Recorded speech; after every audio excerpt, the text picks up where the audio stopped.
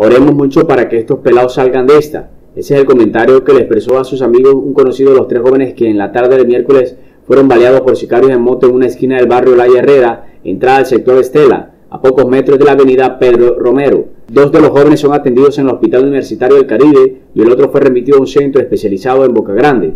Este último, conocido como David, es quien se encuentra más grave al tener sangre en los pulmones. Otra de las víctimas, apodado El Chupa, fue sometido a una cirugía el mismo miércoles en la noche en el Hospital Universitario del Caribe.